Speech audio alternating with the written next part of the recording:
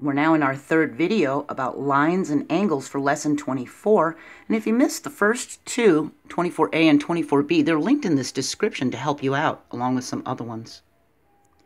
When we see this, this AB with the double arrow line on top of it, it means line AB. And the A and the B are the points on the line. And the line extends infinitely in both directions like a number line, and it's labeled with capital letters for the points. Now, the line itself can also be labeled as a lowercase letter like this, or a P or a Q or whatever it is. And then you'll see the points on it, or there'll be no points, but the points will be in capital letters. I know that could drive you crazy, but you'll understand when you see the diagrams, okay? When lines are parallel, they lie on the same flat plane and never intersect. They have the same slope. We learned about slope in video 22D, the slope of a line.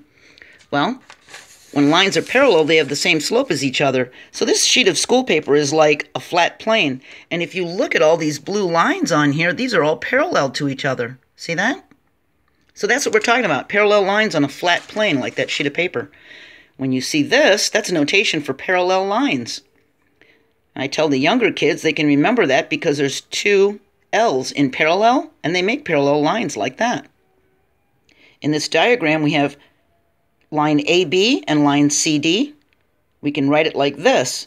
Line AB is parallel to line CD. Okay, that would be the notation. When two lines are on the same plane, the same flat surface, they will either intersect and cross each other at some point, or they'll be parallel and never meet. So look at these two lines. These lines are about to intersect, aren't they? We've got arrows on the tips, so we know they're going to continue on. This one can continue on and cross line A right at that point. So they're not parallel, are they? These two are eventually going to intersect. If they continued on, because the arrows are pointing, they would meet at this point, wouldn't they? And these are not parallel. But intersecting lines make vertical angles. So if they did continue, this angle would be vertical to that one and they'd be the same measure, wouldn't they? If the intersecting lines make right angles, with a little box for 90 degrees, those two lines will be perpendicular to each other. All the angles will be 90 degrees here. And when you see this, this upside down T, it's the symbol for perpendicular lines. When a line crosses parallel lines, it's called a transversal. So here we've got these green parallel lines, and the orange one is the transversal that's cutting through them. Now we have three parallel lines because it doesn't have to just be two. It could be three, it could be more. And the transversal is cutting through these lines. See? And there's angles on the inside and outside of the parallel lines. So the inside ones I've got in red, you could see they're inside these two green lines. See? Those are the angles that are on the inside of the green lines. The angles are on the outside of the green lines, I've got in purple, 1, 2, and 7, 8. See?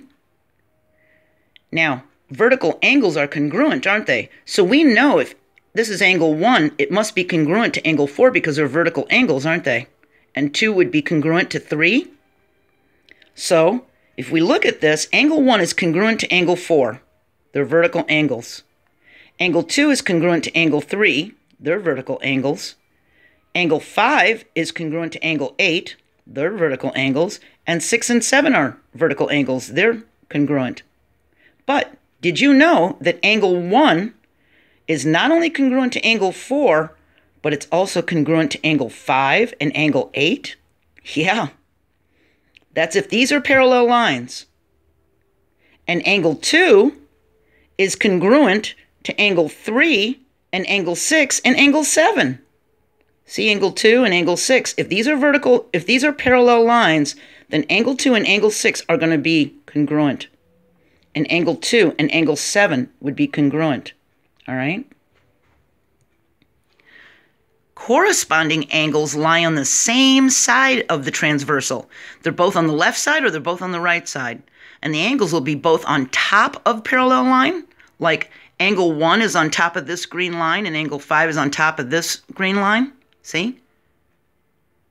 That one's on top of that line, and that one's on top of that line, and they're both on the left side of the transversal. So they're corresponding angles. Angle 1 corresponds to angle 5. And angle 2 and angle 6 are on the right side of the transversal. That's on top of the line, and that one's on top of that line. Those are corresponding angles. Or they'll both be under a parallel line. So 3 and 7 are corresponding, and 4 and 8 are corresponding. See? And they're all congruent. 4 is congruent to 8, 3 is congruent to 7, 1 is congruent to 5, 2 is congruent to 6. See? Because they're corresponding angles. All right? So you might want to write that in your notes, okay? It is in the book. All right? Alternate exterior angles are always found on the exterior, the outside of the parallel lines. So you can see this is outside the parallel lines, and this is outside the parallel lines, and that's the inside. See? So alternate exterior angles are on the outside of the parallel lines, and they're opposite sides of the transversal. So angle 1 is an alternate, alternate exterior angle to angle 8. See, it's on the opposite sides, and they're on the outside. And angle 2 is an alternate, alternate exterior angle to angle 7. See? They're on the outside of the parallel lines. They're not on the inside in here. And they're on opposite sides of the transversal. Now, there's actually a theorem, a rule that says when parallel lines are cut by a transversal, alternate exterior angles are congruent. So that means 1 and 8 are congruent and 2 and 7 are congruent. Alternate interior angles are always found on the interior, the inside. So now we're on the inside of these parallel lines. See? Before we were on the outside of the parallel lines. For the interior, for the alternate interior angles, we're on the inside and they're on opposite sides of the transversal. So 3 and 6 are alternate interior angles and 4 and 5 are alternate interior angles. They're going to the same measure. When two parallel lines are cut by a transversal, it's cut by this orange line transversal, the alternate interior angles are congruent. That's another theorem, all right? Now I've got this really big drawing here, so hopefully I'll be able to stand back far enough so you'll be able to see it. Knowing that vertical angles are congruent and that straight angles equal 180 degrees, we can find missing exterior and interior angle measures. So it's given that angle AFE is 55 degrees. So here's AFE. That means this one is 55 degrees. Well, if this was the only angle we had, just this little one, we'd be able to find all the rest of these. And it's because we know that vertical angles are congruent and straight angles are supplementary. They equal 180. If this is 55, we can find this angle, because that's a straight line, that would be supplementary right here, wouldn't it? So we could do 180 minus the 55 and get 125 degrees. So now we know this one's 125 degrees. Now, if this one's 55 and this is its vertical angle, then this has to be 55. We can also say that right here is a supplementary angle with this one and this one. So if that's 125, that has to be 55 in order for this to equal 180. See? And if that's 125, that has to be 125 because they're vertical angles. And also, it would be supplementary with this one right here, and it would be supplementary with this one. Okay? Now, corresponding angles. Remember, corresponding angles lie on the same side of the transversal, and they'll both be on top or on the bottom of one of the parallel lines. Okay? So they're going to be on the same side as, of the transversal, and they're going to lie on top together or on top of the parallel lines or below the parallel lines. So look at this angle and this angle. These two are corresponding angles. See? And this one is on the right side of the transversal, and this one's on the right side of the transversal. This one is above the green line, and this one's above this green line. So we know these two are corresponding angles. And if that's 125 degrees, the corresponding angle has to be 125 degrees. So now we found all these, we know what that one is. And if that's 125, that has to be 55, which means that has to be 125 because they're vertical And that has to be 55 because they're vertical and supplementary. See? Those are supplementary. Those are supplementary. See? So just from knowing that one little angle, we could find all these other angles. Okay? When the transversal crosses parallel lines, then this angle and this angle will total 180 degrees.